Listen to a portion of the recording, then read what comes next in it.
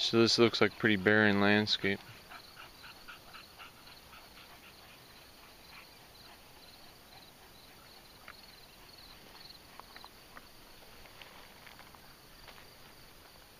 But then sometimes you come across things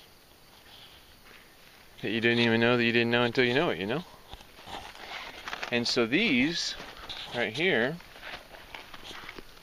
are wild onions.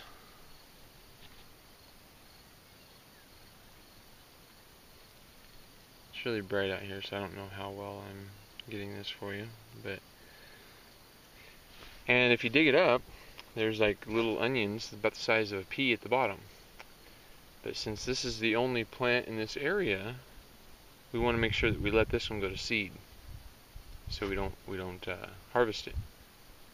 But likely where there's some, there's more, and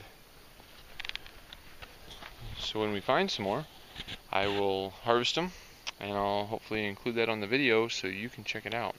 Uh, they're delicious, but no matter how delicious they are, we need to make sure that we leave it for, you know, the next seven generations, and teach those next generations how to leave the food for the future generations. If we eat all of it, if we don't plant back, giving our children and our future generations a lesser product. Let's give them something to be proud of.